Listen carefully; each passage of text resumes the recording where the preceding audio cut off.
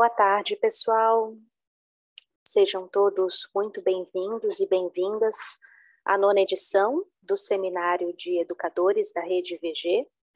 Estamos iniciando agora o segundo momento formativo, pois pela manhã tivemos aí a participação riquíssima do Padre Wilson e da Thais Basile, propondo reflexões e discussões em torno dos territórios, dos vínculos criados nestes espaços, e dos papéis que neles assumimos, né? Tudo isso regado aí a uma perspectiva de educação humanizadora, educação para a paz, sob a mediação da nossa querida Fraia.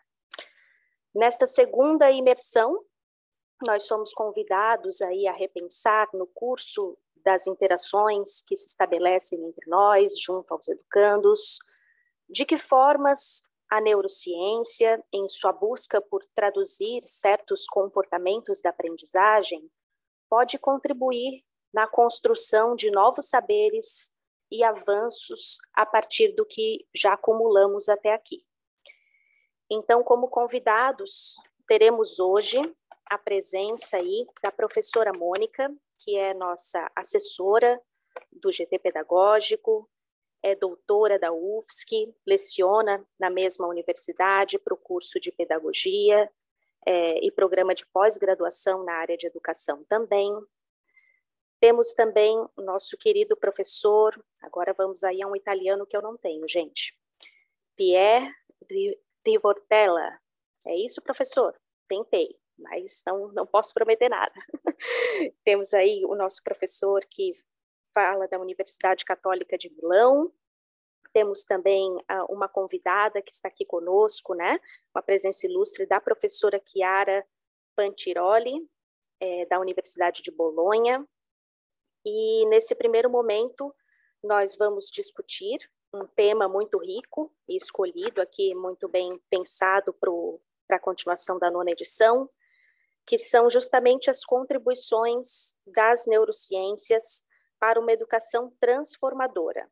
Como traduzir as práticas e estratégias das neurociências na dimensão do cuidado para as práticas pedagógicas, considerando os múltiplos espaços que atendemos e realidades. Então, fica esse o questionamento, o espaço aberto para nossa troca, e eu gostaria, antes de mais nada, de passar a palavra para o nosso querido presidente do Instituto IVG, Padre Wilson Gro. É contigo, Padre Wilson.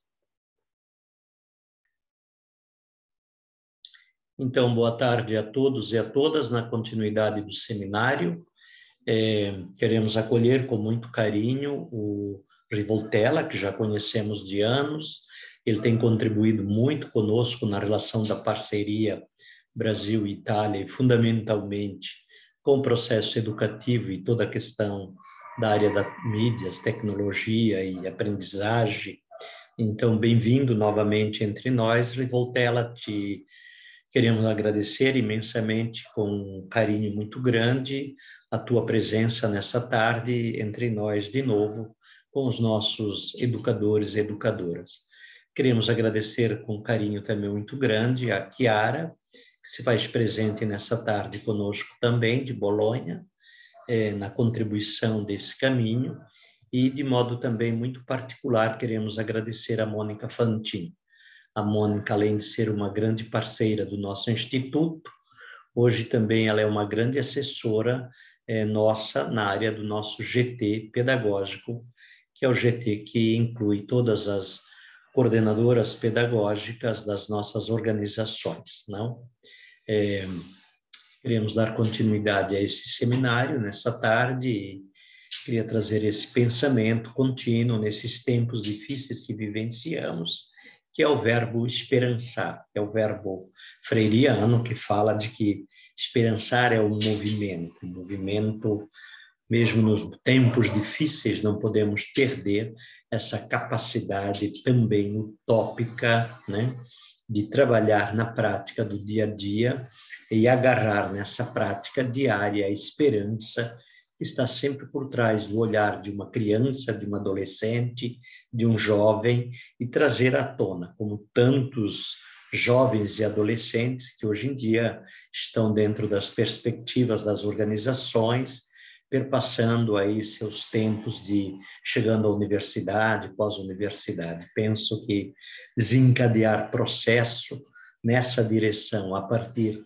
dos territórios com os quais nós trabalhamos, empobrecidos, e gerar uma oportunidade nessa perspectiva é um grande caminho no processo educativo e tornar a educação um direito sempre a todos, não? Então, tenhamos uma boa tarde, desde já, em nome do nosso Instituto e da nossa diretoria do Instituto.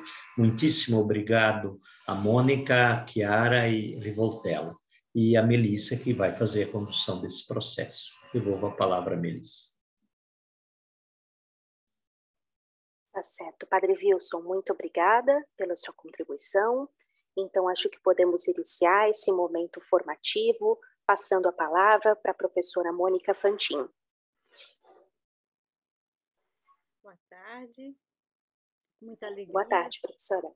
E eu agradeço mais uma vez né, o convite, a confiança, o trabalho de formação, de assessoria que estamos desenvolvendo junto com o grupo de pesquisa NICA, Infância, Núcleo Infância, Comunicação, Cultura e Arte, coordenado por mim, pela professora Thelma Piacentini e professora Gilca Giraldello, junto né, ao IVG, e dizer também da alegria de estar mediando essa mesa aqui, o professor e colega, né, Pier Cesare Rivoltella, muitos anos de parceria, pesquisa, amizade, e também a presença da professora Chiara Pantiroli, seja bem-vinda, professora Issa, um piacere essere qui com te.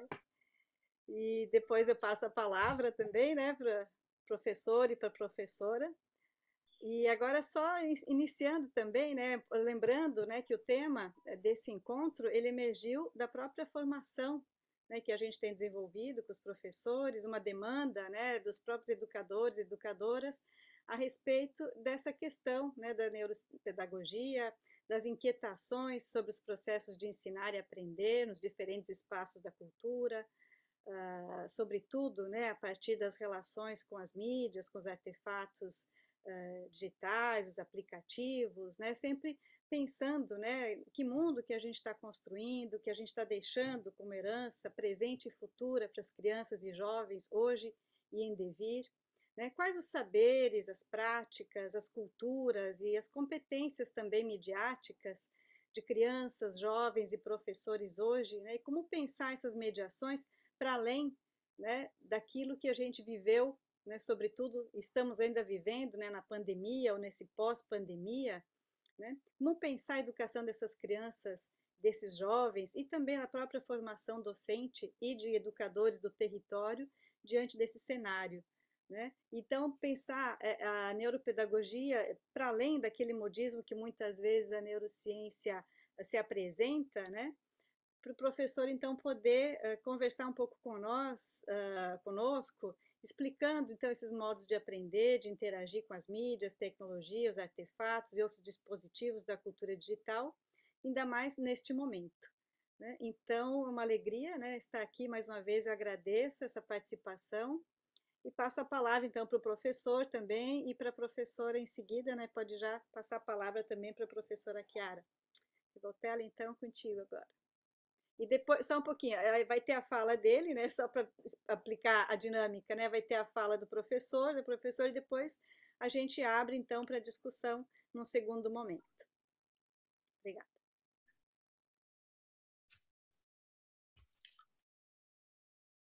Parlo io, allora Monica? No? Aspettiamo.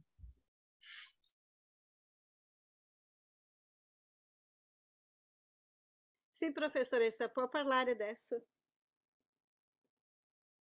Ho capito bene, parlo adesso, spero di non aver cambiato.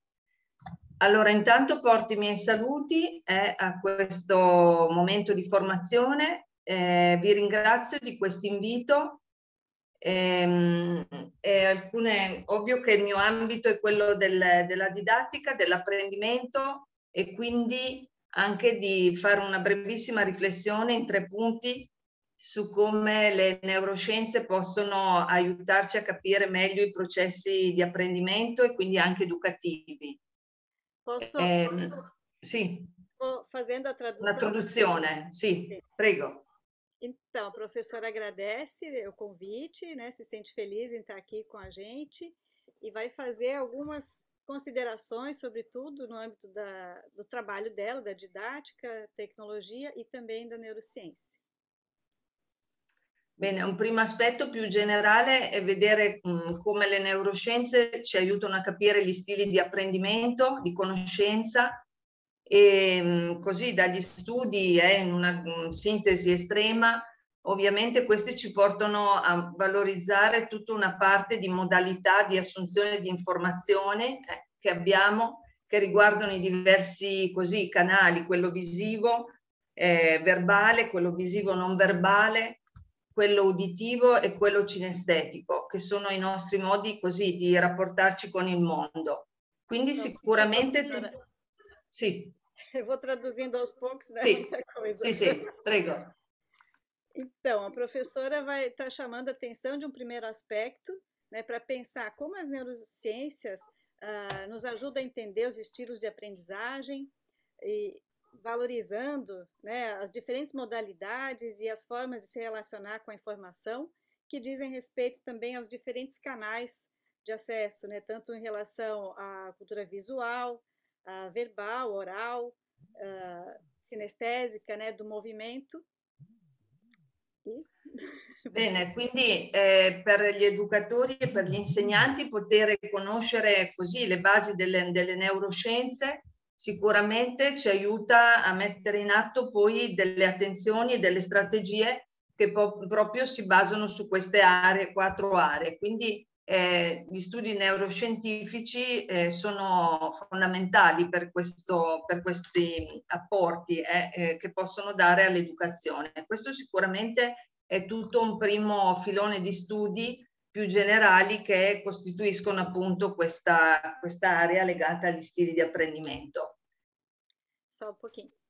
Uhum. Então, ela, a importância né, desse assunto né, para professores, educadores, poder conhecer essas bases, né, esses fundamentos da neurociência e como ela pode ajudar né, a pensar, a prestar atenção aos modos né, de ensinar, de aprender, as metodologias né, que se baseiam praticamente nessas quatro áreas.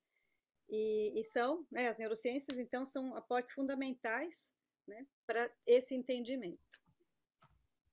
Bene, poi c'è un secondo filone di studio che è più specifico, che riguarda le neuroscienze nella, nel visual learning, che eh, sono uno di questi così, eh, ambiti che abbiamo appena così eh, elencato e sicuramente se noi prendiamo delle informazioni ci dicono che eh, il nostro sistema sensoriale dominante è al 30% è dominato proprio dalla parte del visuale e quindi da tutte le influenze rispetto all'area della corteccia cerebrale. Quindi sicuramente anche tutta questa parte di studi più specifico che mh, prende il nome proprio di eh, visual neuroscienze, de, della parte però, proprio neuroscientifica legata al visuale, sicuramente è un'altra parte importante.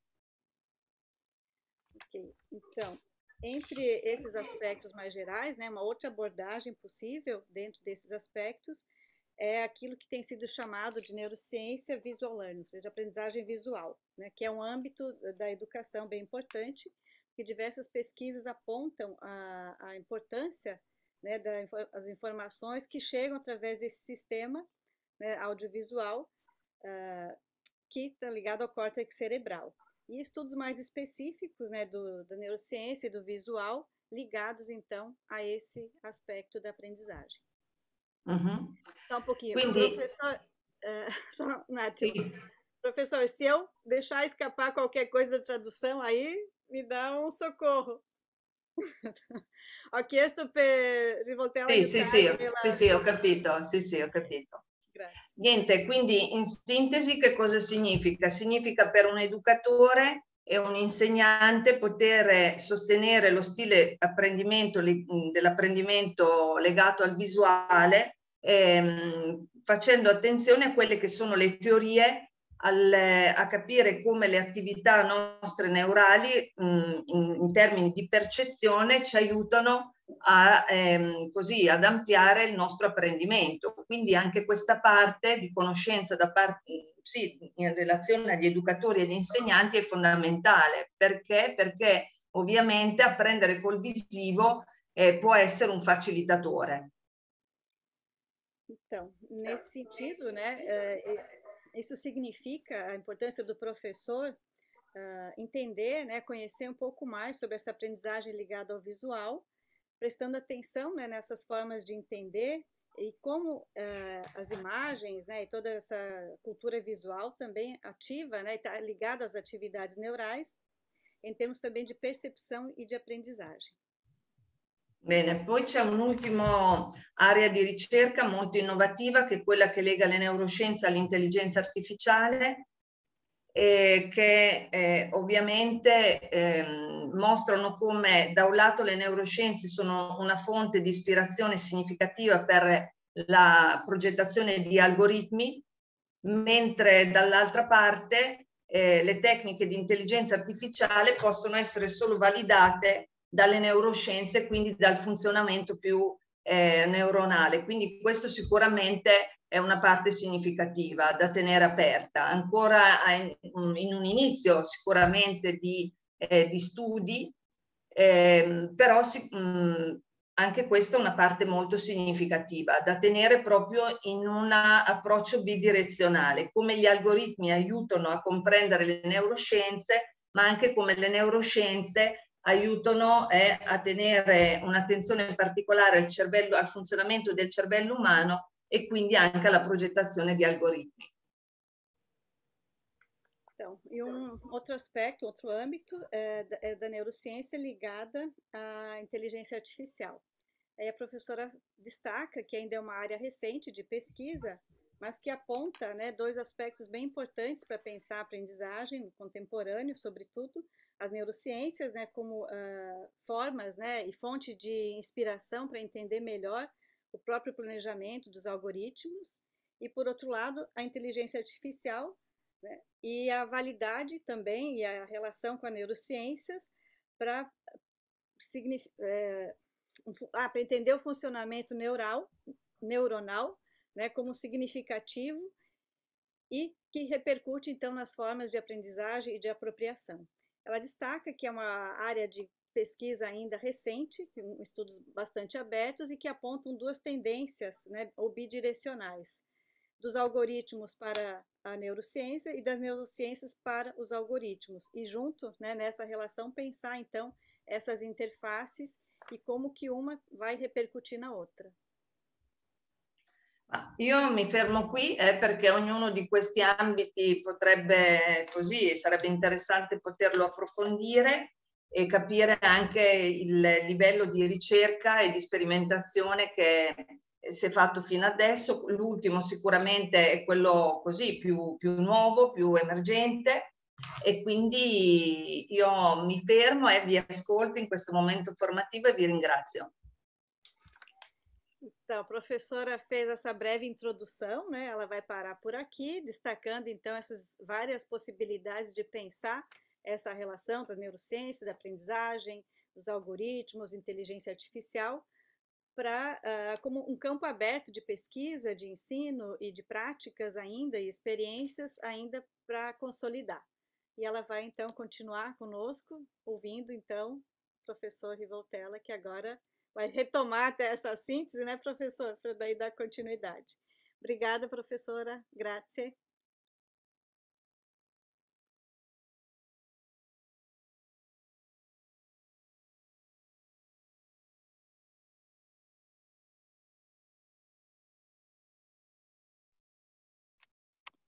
Ótimo. Boa tarde a todos. E um grande abraço ao Padre Wilson e à Mônica em particular. Não é a mesma coisa que estar na sua casa, Padre Wilson, né? mas uh, também através da tela pode ser uh, útil para conversar, mas, mas acho que já com a Mônica estamos imaginando uma minha vinda na primavera que vem, porque porque estou com saudade do Brasil. Claro que estou com saudade do Brasil. Desde o 2004, que é o ano no qual eu e a Mônica se, se, conheceram, se conheceram, não faltou um ano que eu não viajasse pelo Brasil. E agora já estou faltando desde o 2018, que foi a última vez. Então, acho que seja hora de voltar, né? E vamos imaginar, imaginar como. Muito obrigado por esse convite. É, não gostaria de falar muito para não tirar o tempo inteiro a possibilidade da conversa. Então, vou colocar algumas ideias. Arrumei também uma, uma série de transparências. Depois, não sei se a Melissa me dá a possibilidade né, de, de compartilhar através da tela. Né? Vou, vou mostrar algumas, algumas de, dessas transparências só para colocar algumas ideias e depois vamos discutir. Ponto de partida poderia ser o título de um livro que saiu na Itália há, há, alguns, há um, alguns anos atrás, e o título era Neuromania. Hum? Neuromania. Esse é um risco que hoje tudo seja neuro. Né? Neuropsicologia, neuroteologia, neurogastronomia. Neuro, neuro tudo. Tudo neuro. O que quer dizer? Quer dizer que o paradigma das neurociências virou um paradigma importante, dominante, provavelmente um dos maiores, ou o maior dos paradigmas científicos que se estão enfrentando no, no campo epistemológico nessa hora aqui. Então, a, a neuromania é uma primeira ideia um pouco provocadora e problemática que vou colocar. Mas é verdade que tudo tem que ser neuro? E o que quer dizer isso? É, a neuromania traz algumas neuromitologias. Porque se todo mundo fala em neuro e não todo mundo é neurocientista, o risco de desenvolver e de comunicar neuromitologias é forte. Alguns exemplos de neuromitologias. É uma neuromitologia a ideia que o cérebro direito seja o espaço da criatividade e da emotividade, e que o cérebro esquerdo, ao contrário, seja o espaço da racionalidade e da, e da organização analítica e sistemática do pensamento. Essa ideia traz consigo a outra ideia, segundo a qual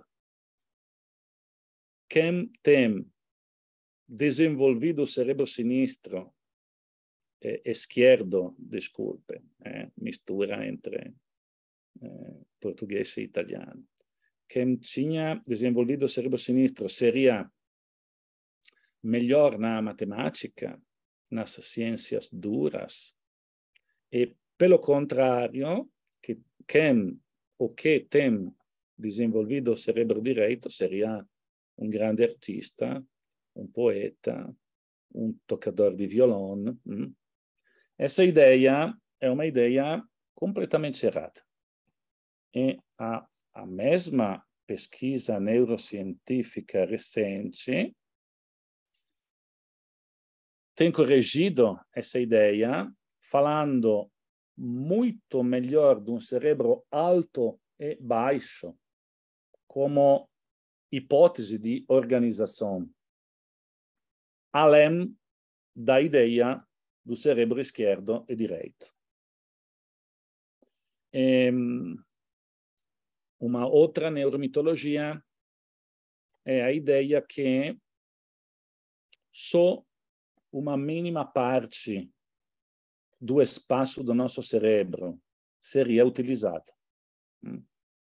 Às vezes, se ouve gente falando que só um 30, um 40% do nosso cérebro seria ocupado. Então, teria um grande espaço, ainda um grande espaço a desenvolver. Outra neuromitologia. Porque a evolução construiu as coisas na medida que todo o espaço do nosso cérebro seja utilizado. E essa é verdade na medida na qual o nosso cérebro, quando a gente dorme, trabalha o tempo inteiro para cortar aqueles aqueles sinapses, aquelas relações entre neurônios que não são utilizados. Essa atividade se chama de pruning em inglês. E a palavra pruning em inglês quer dizer cortar as folhas das plantas. É trabalho de jardineiro, né? Muito interessante. Sem esse trabalho à noite do nosso cérebro jardineiro, a gente não teria mais espaço para aprender, para introduzir novos conceitos depois dos nossos 12 anos. Hum? Outra neuromitologia. A gente poderia continuar, mas não vou continuar. E era só para colocar como, como a neuromania, a gente começou a encontrar algumas neuromitologias. E, afinal, outro título de outro livro uh, que saiu, que foi publicado em Itália, é Neurofobia. A neurofobia é o medo do neuro. Por quê? Porque se tudo é neuro, porque se esse paradigma de pesquisa é tão poderoso, a gente começa a ter medo. Ter medo do quê? Ter medo que essa ideia, a liderança dessa ideia da superioridade do cérebro, possa inibir as outras dimensões do espírito humano. Essa é a ideia do assim dito eh, reducionismo. Eh, quando un neurocientista è reduzionista, quando a tendência dele é pensar que nós, que todos nós, somos nada mais que o nosso cérebro. É a redução da pessoa ao cérebro, da alma ao cérebro, das emoções ao cérebro, do amor ao cérebro. E essa ideia é outra ideia bem desfiadora. Na perspectiva da antropologia, claro, mas também na perspectiva da teologia. E acho que depois, no bate-papo, na discussão, o padre Wilson poderá falar algo sobre essa relação entre eh, o desafio das neurociências e a necessidade para a teologia e a antropologia cristiana de deixar-se provocar para repensar-se em profundidade. Vou compartilhar algumas transparências e depois, e depois paro. Mônica, eu pediria para você de, de, me dar, de me dar um oi quando chego às, às cinco, às oito. Né? Cinco para as oito, você me dá um oi Assim eu vou parar e temos uma meia hora, pelo menos, de discussão. Porque não quero tirar o tempo inteiro. Provavelmente já, já falei demais. Como está o português depois de quatro anos de, de, de uso? Tá bom, tá bom, Padre Wilson. Continua Funciona. bom. Ainda está funcionando. Muito Aqui, bem. Só para esclarecer, o grupo, né, a a diferença de fuso horário, ele falou 5 para as 8, mas na verdade para a gente aqui é 5 para as 3. Mas tá Claro, bom, te cinco-. 5 para as 8 da Itália, né? tá bom. Então vou compartilhar as transparências. Para tentar dar uma resposta a, a, a algumas dessas provocações. Vou, vou só tentar colocar, do ponto de vista epistemológico, numa forma de equilíbrio, o, o sentido da neurociência na perspectiva da educação. Então, vou compartilhar.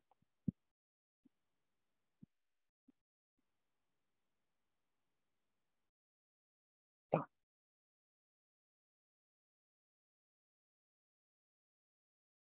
Vamos ver se.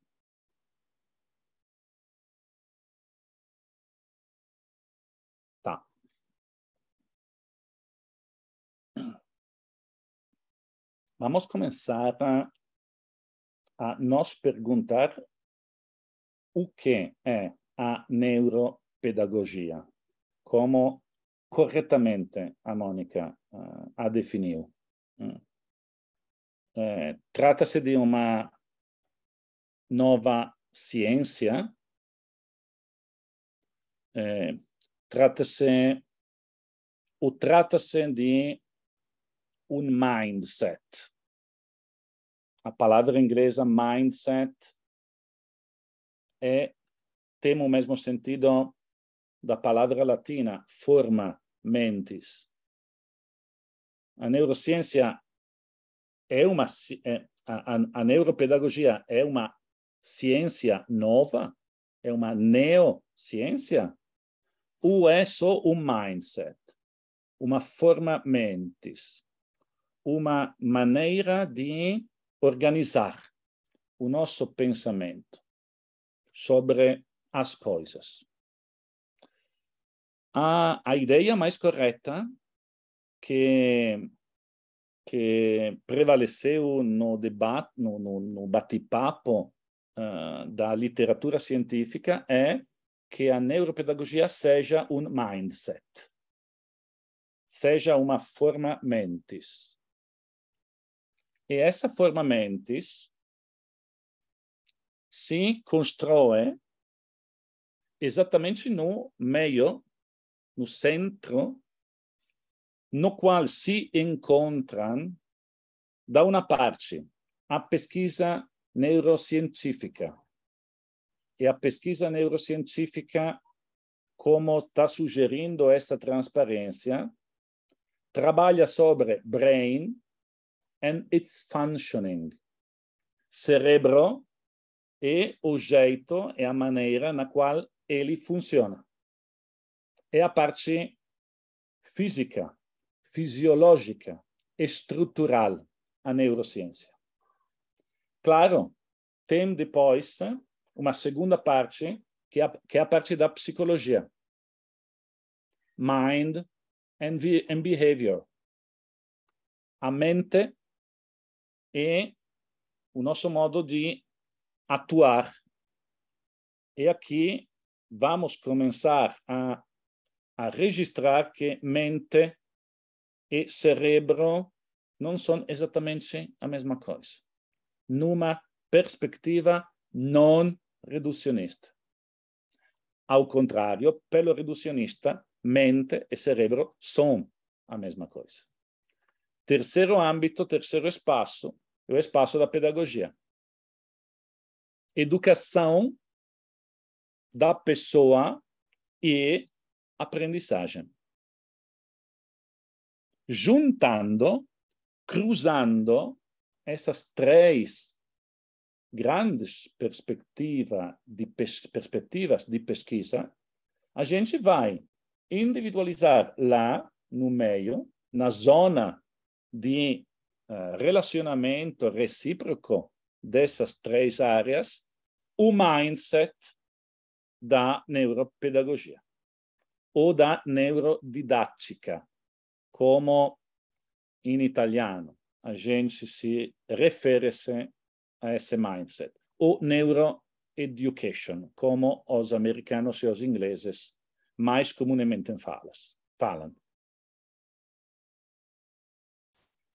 Esse mindset está construído sobre algumas perguntas-chave, algumas ideias norteadoras e algumas perspectivas de pesquisa e intervenção. Pergunta-chave. Eu coloquei aqui duas dessas perguntas-chave. A primeira, tem descobertas no campo da neurociência que podem ser aplicadas à didática?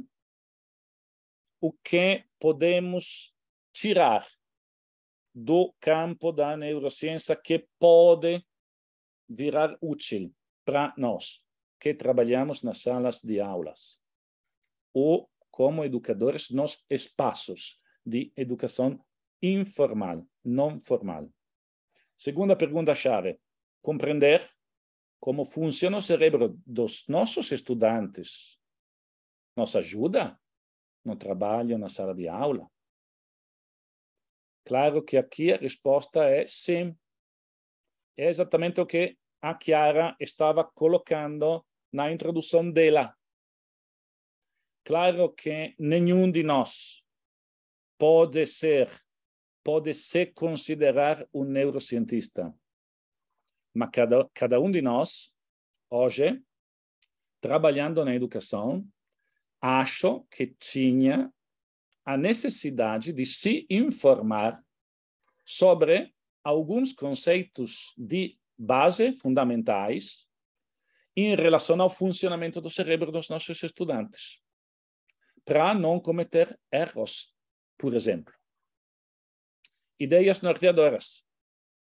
Aqui tem uma definição da aprendizagem que foi proposta para esse pesquisador no 2007, que fala da aprendizagem como uma série de adaptações que são mediadas socioculturalmente das estruturas do cérebro com consequências funcionais.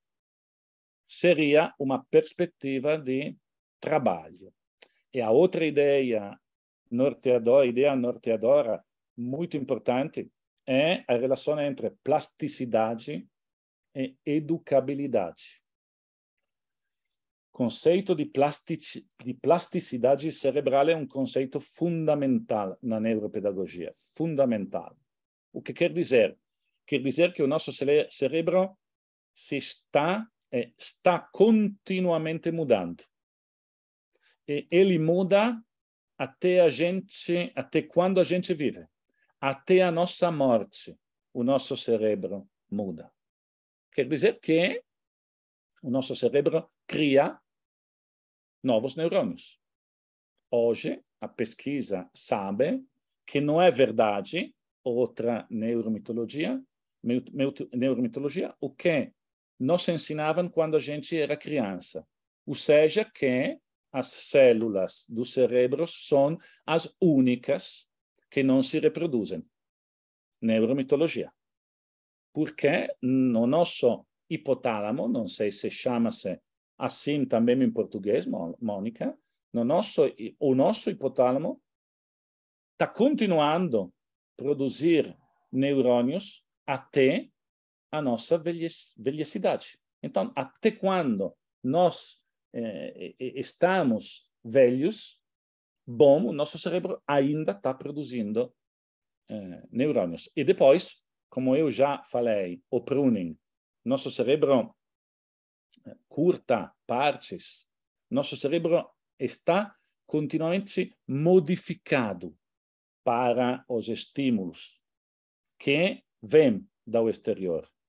E a, a parte mais importante desses estímulos são os estímulos que, que a gente tem nos espaços educacionais. A educação é um dos maiores, dos mais fortes estímulos ambientais que trabalham a modificar a estrutura do nosso cérebro. Bom, se o nosso cérebro é plástico, se tem essa possibilidade de ser modificado continuamente, a consequência é que em educação não tem casos impossíveis. Não tem caso que não possa, através da estimulação da educação, ter uma qualquer forma de solução.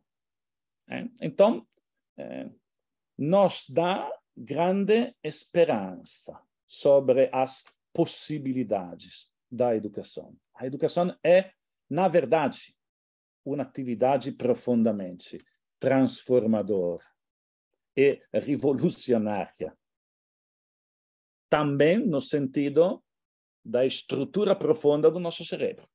A primeira coisa que mais, que, que em forma mais profunda se vai modificando através da educação é a estrutura do nosso cérebro. Fantástico, fantástico.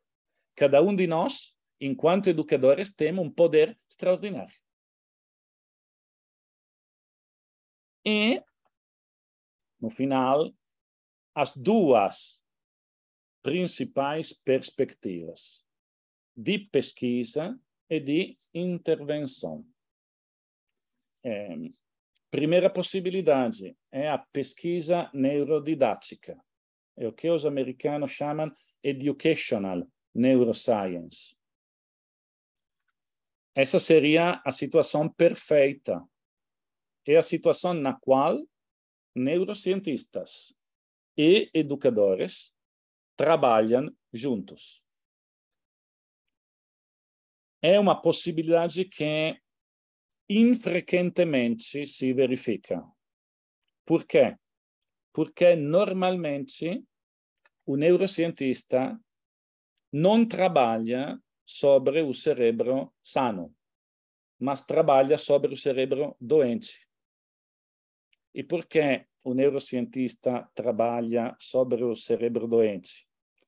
Porque os custos da pesquisa neurocientífica são grandes e, no caso do trabalho de pesquisa sobre o cérebro doente, o resultado pode ser a descoberta de uma, uma molécula é, a partir da qual, da qual a gente poderia uh, criar um, uma nova medicina. É claro que essa medicina poderia pagar os custos da pesquisa. Se a pesquisa é feita num espaço de escola, de educação, é claro que esse espaço é, por má sorte, não tem todas aquelas possibilidades de ganhar que necessitariam para fazer assim que aquele espaço seja interessante para a neurociência. Isso quer dizer que normalmente a situação, a perspectiva da educational neuroscience é muito, muito rara muito, muito rara. Muito mais frequente a segunda perspectiva, ou seja, o uso, utilização dos resultados da pesquisa neurocientífica na didática. O que quer dizer que o neurocientista trabalha as suas pesquisas, produz os seus artigos e nós, a partir daqueles resultados, vamos imaginar como aplicar aqueles resultados à nossa situação. Essa segunda é a perspectiva mais comum.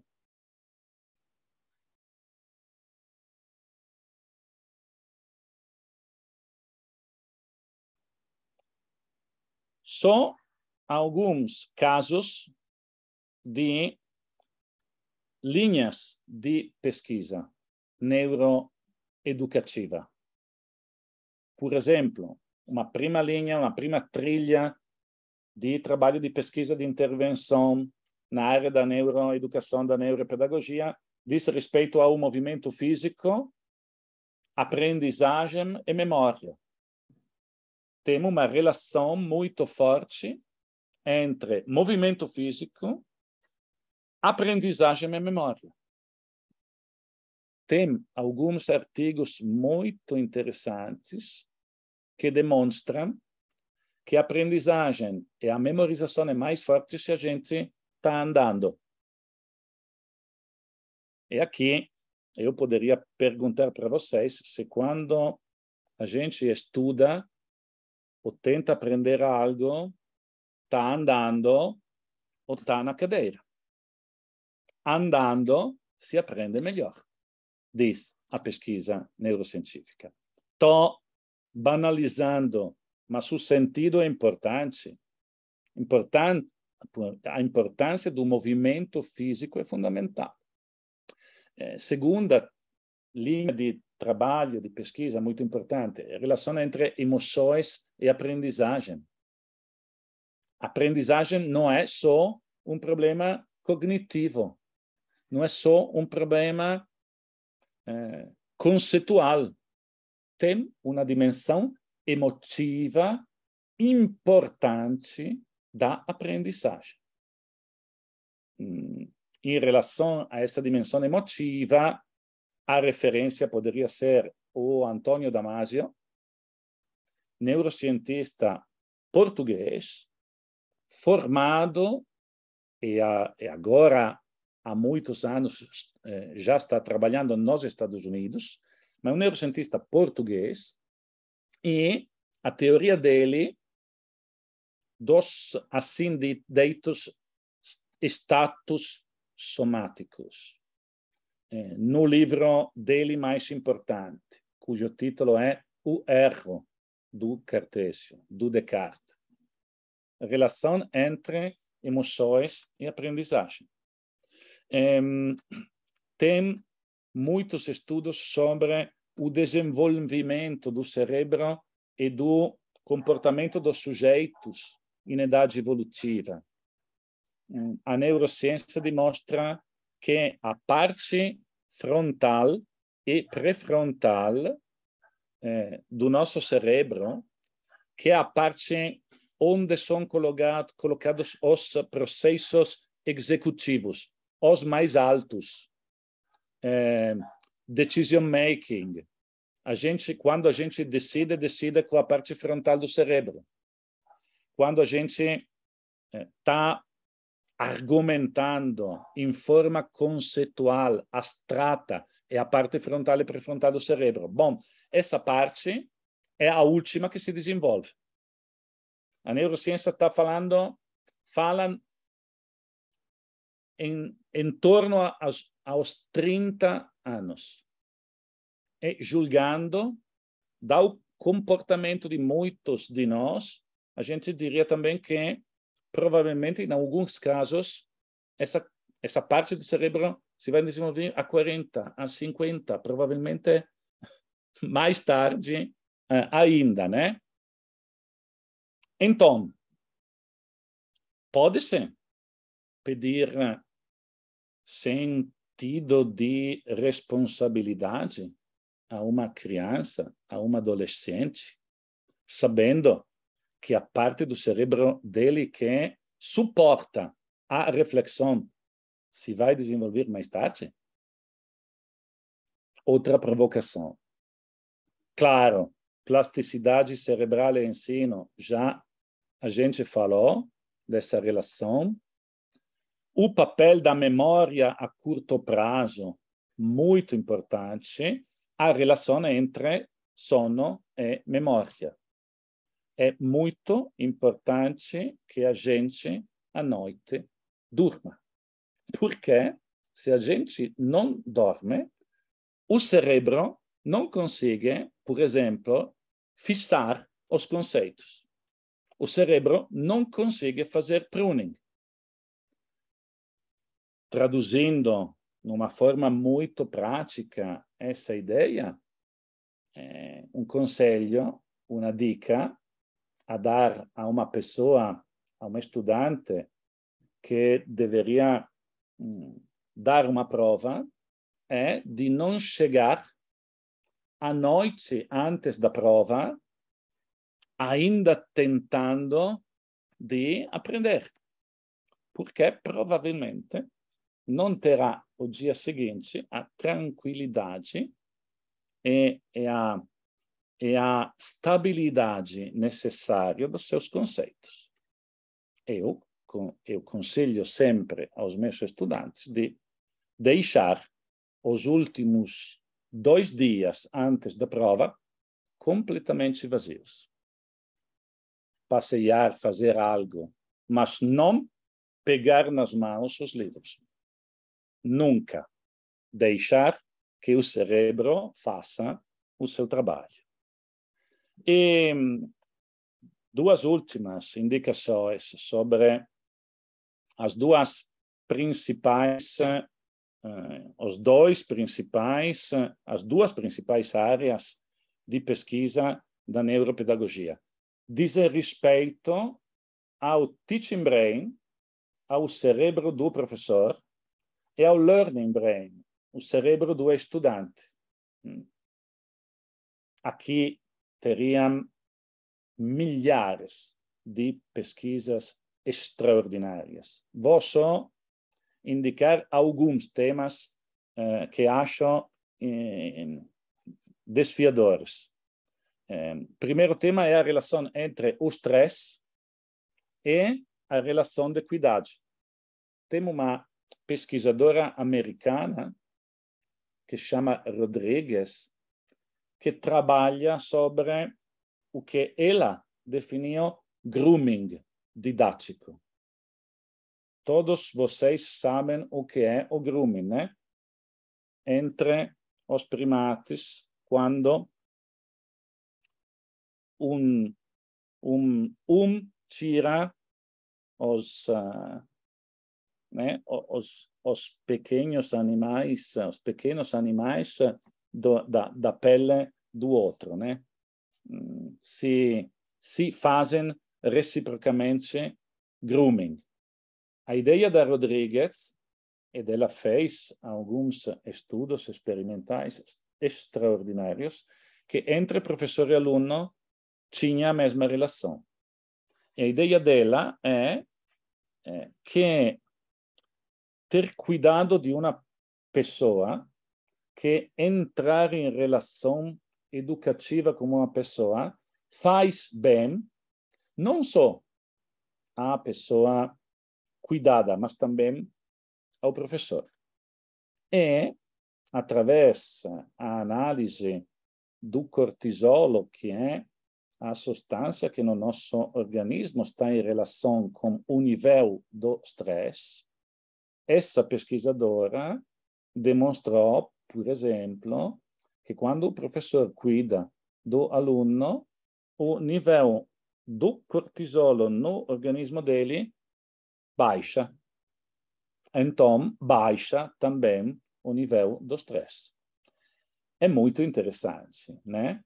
Utilizar como ideia que educar faz bem. Faz bem também ao educador.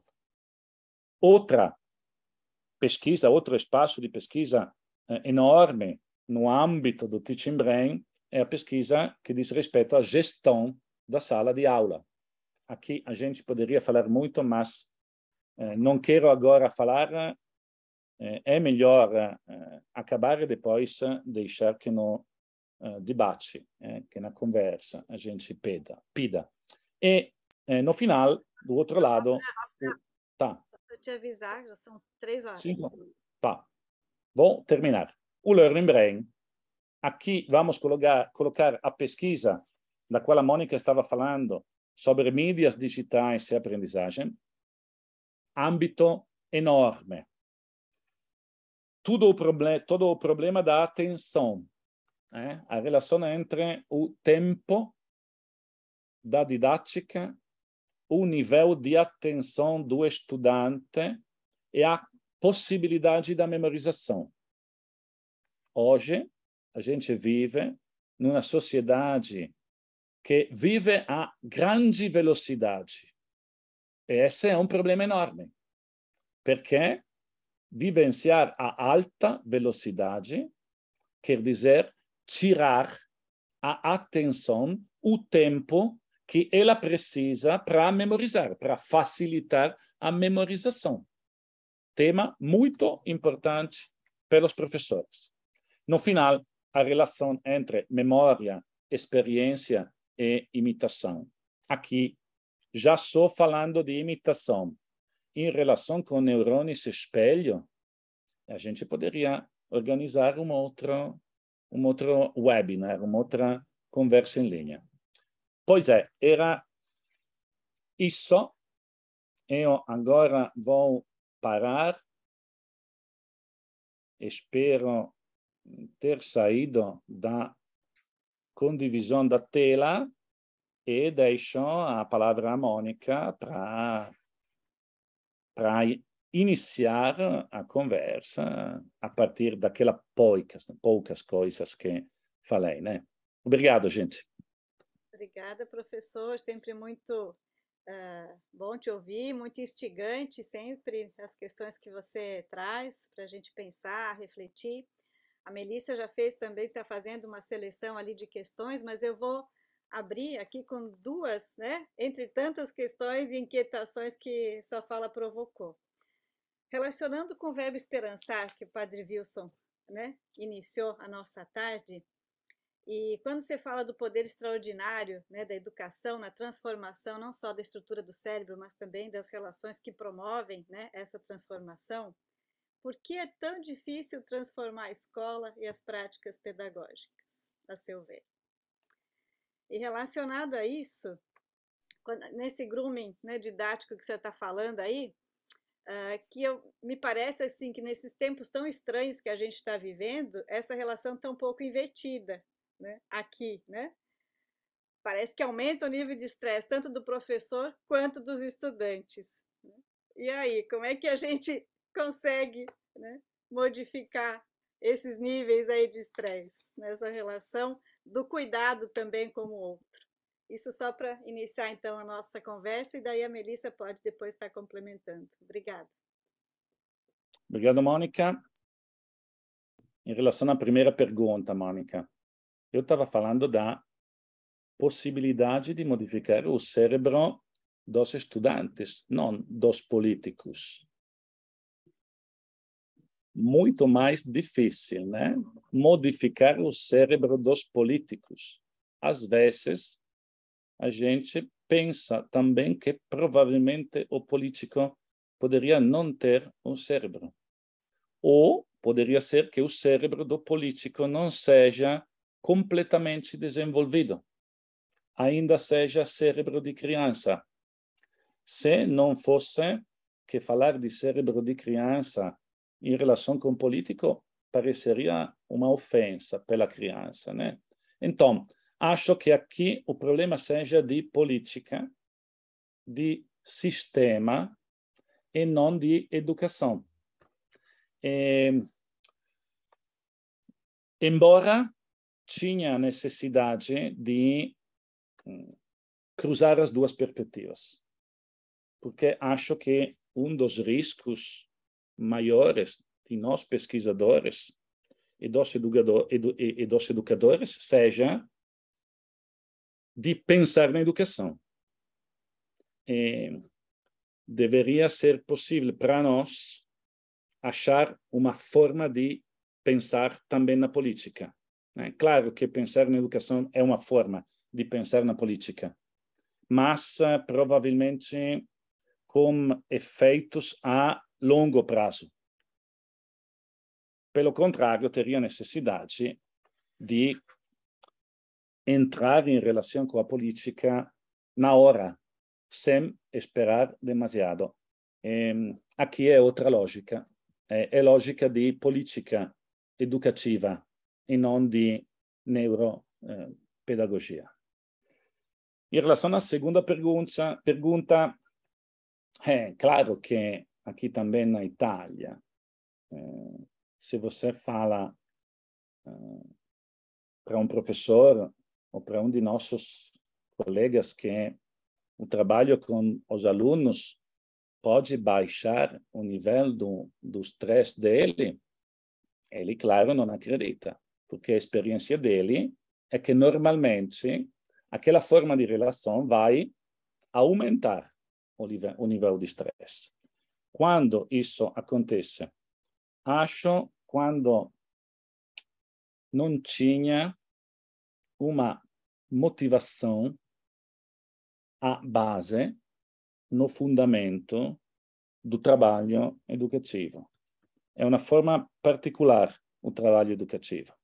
Uma forma particular de trabalho que é um trabalho profissional, mas também, na mesma hora, vocacional.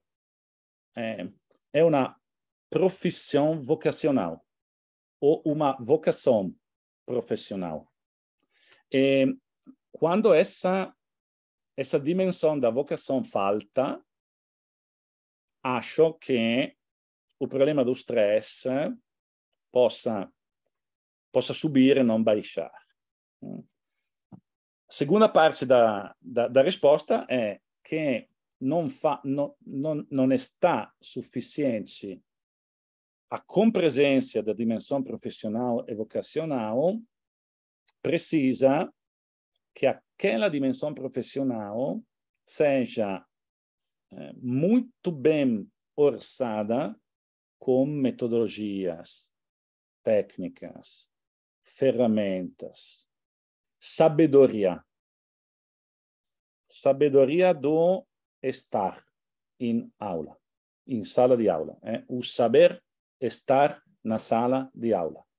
Que não é só problema de teoria, não é só problema de conceitos que a gente estuda na universidade, se formando, mas a sabedoria é uma forma ética de eh, sabedoria prática que a gente aprende e desenvolve através de um fazer reflexivo. A gente faz refletindo sobre o que está fazendo. Esse, faz, esse fazer ref, refletindo é o que no, no tempo dá forma a essa, a essa sorte, a essa forma de, de sabedoria. Então, quando a gente não, não percebe que o stress baixa, acho que a motivação possa ser procurada em uma dessas duas faltas. Falta de, voca de vocação, de vocação profissão e falta de, de sabedoria, de sabedoria didática. Não sei se respondi, né, Mônica? Eram duas perguntas enormes. A gente poderia fazer dois cursos na universidade, né? Sim, obrigada. Não, eu acho que até que você já deu algumas pistas até de pensar não só essa motivação, mas os processos de aprendizagem, quando estão mais sintonizados com aquilo, essa questão do movimento, da emoção, né, da memória que você mencionou ah. ali, eu acho que isso também tem, cria né, um outro espaço para pensar essas relações. Claro. Obrigada. Claro. Melissa, quer trazer as questões também? Quero sim, professora. Obrigada. É, contribuições riquíssimas, professor Pierre. Eu anotei aqui quatro é, colocações feitas no nosso chat, quatro comentários, são eles da Petla, da Carol, da Lisa e da Bibi. Então, eu faço a leitura de duas questões primeiro, pode ser? Aí o senhor faz as suas colocações e, na sequência, eu faço a leitura das outras duas? Pode ser. Se as então, tá perguntas tá não são demasiado complexas, articuladas, né? Podem tá ser. certo. Vamos tá. analisar juntinhos então, professor. Vamos ver, vamos ver. Então tá. A Pétala trouxe o seguinte: tenho realizado alguns cursos de neurociências aplicada à educação, mais especificamente contemplando ao letramento e a alfabetização. De modo geral, tenho escutado muito sobre essa relação da neurociência, alfabetização e a importância de direcionar as crianças ao saber escutar, escutar com qualidade. Gostaria de ouvir a respeito dessas relações e como aplicá-lo de modo significativo em turmas de cerca de 30 alunos com defasagem pós-pandemia. Essa né, é a contribuição da Pétala. Então, na sequência, deixa eu fazer a leitura rapidinho da, da Carol. Eu tenho uma pergunta. Já ouvi falar que o nosso sistema digestivo seria o nosso, abre aspas, segundo cérebro. É verdade ou é um mito? Se for verdade, como isso poderia perpassar as questões educacionais e de aprendizagem? Passo a bola, professor. Obrigado, Melissa. Então, eh, resposta à segunda pergunta. É verdade na perspectiva da medicina tradicional indiana. Né? A tradição do Ayurveda, por exemplo, tem essa ideia, essa perspectiva do, do sistema digestivo como segundo cérebro, provavelmente como primeiro cérebro, né? É claro que também na, na perspectiva da neurociência tem o, toda uma parte do nosso sistema uh, nervoso, sistema simpático, que diz respeito às nossas respostas irreflexas e, e, e, que tem uma parte importante na, na nossa organização de resposta ao meio ambiente. Mas acho que seja uma, uma, uma forma de, de reflexão que a gente pode fazer, mas acho não tão na perspectiva da, da educação. No que diz respeito à primeira pergunta, hum, claro, o, o espaço da alfabetização, do letramento, como ensinar a ler e escrever às crianças é um espaço importante, onde onde a neurociência é, diz coisas muito instigadoras. É, tem um livro extraordinário de uma neurocientista americana que se chama Mary Ann Wolf, a Mônica conhece. É, não sei se existe, Mônica, tradução portuguesa desse livro. Sim, existe. Então você pode dar o título em português à editora. É Squid... Depois eu é. passo é. o livro. Tem um traduzido dela aqui, depois eu passo. Não sei se é o mesmo que você vai mencionar, mas depois eu passo. Proust, Proust and the Squid. Proust e il calamaro. Se chama teoria e prática do cérebro que lê. E, o título Calamaro, Squid, em português, não sei co como se diz. Qual é o nome do calamaro, Mônica? Lula. Ah, já o Lula frito, nossa senhora. Estou faltando muito do Brasil. É o Lula. Muito bem. Então, Proust e o Lula é o título do livro. Lula, gente, o, o não é o Lula, né? É, é. Porque o Proust? Porque o Proust escreveu um ensaio sobre a leitura que a Wolf falou foi o que um, o que provocou o fato que ela fez estudos de medicina e começou a estudar uh, o, o, o, fenômeno, o problema da leitura na perspectiva do cérebro. Proust. E o Lula, porque é um é uma das formas animais que mais facilmente se reorganiza, né? O sistema nervoso dele é um sistema nervoso muito plástico. No livro, a uh, Wolf trabalha eh, conta os resultados das suas das pesquisas delas, delas são 35 anos que ela trabalha sobre eh, o cérebro, o cérebro que lê e os problemas do cérebro que lê. Hum? É, então, sobretudo, é, a dislexia. Hum? É, e uma das coisas que a Wolf uh, dimostra é a importância de ler muito pelas crianças pequenas quando a criança ainda não lê. A importância de ler a alta voz quando a criança é pequena. É, ela demonstra com, com, com seus estudos que, que tem uma correspondência, tem proporcionalidade entre criança que quando era pequena tinha pais que leram muito para elas e a possibilidade que essa criança, virando adulta, seja um forte leitor.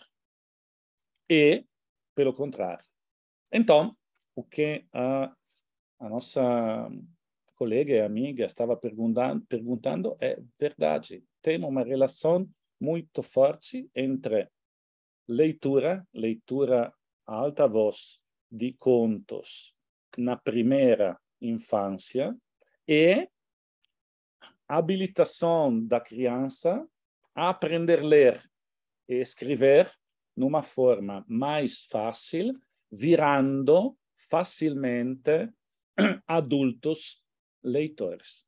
Claro que aqui já a gente compreende toda a relação que existe entre possibilidade de virar fortes leitores e capital cultural da família, por exemplo. Por exemplo, se a criança é de família de baixa renda, se os pais não têm possibilidade de dar tempo pela criança, lá já se está criando desvantagem do ponto de vista da aprendizagem. Então, aqui a gente tem que pensar como, ainda hoje, 2022, diferenças entre riqueza e pobreza, entre diferentes níveis socioeconômicos, culturais das famílias, incide sobre as possibilidades das crianças virando adultas. E aqui é novamente um problema de política educativa, Mônica.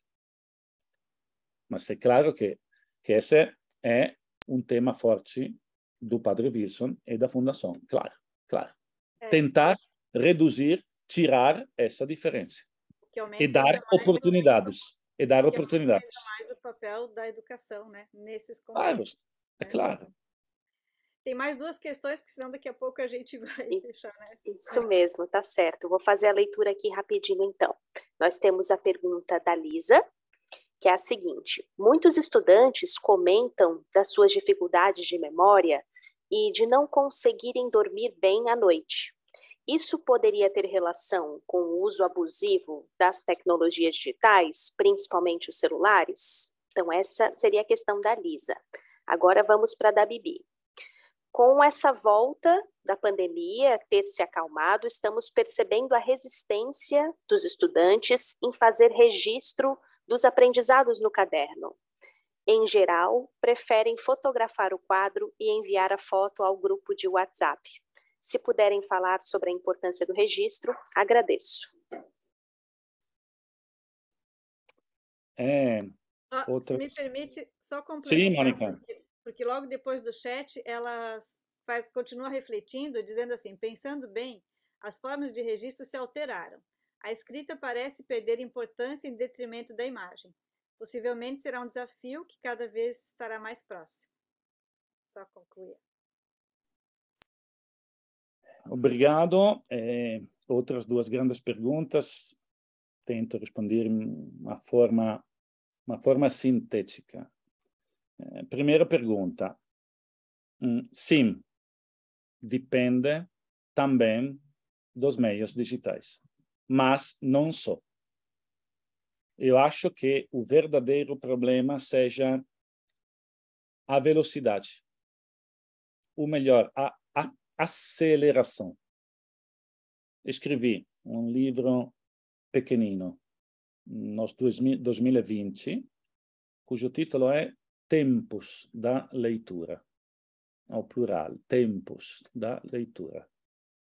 No livro, o problema que é pesquisado é a relação entre velocidade das nossas vidas,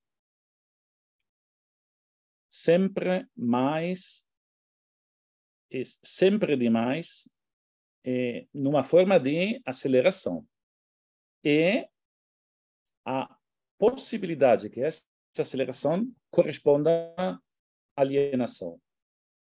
Temos um livro de um filósofo alemão que se chama Hartmut Rosa.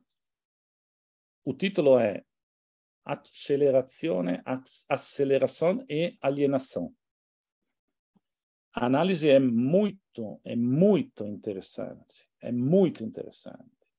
E poderia explicar pela nossa colega amiga que colocou a pergunta por que hoje tinha problema, sobretudo com os jovens, mas não só com os jovens, na concentração, na atenção e na memorização.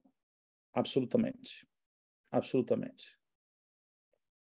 E, segunda questão, que agora não lembro, Melissa consegue. A segunda questão é.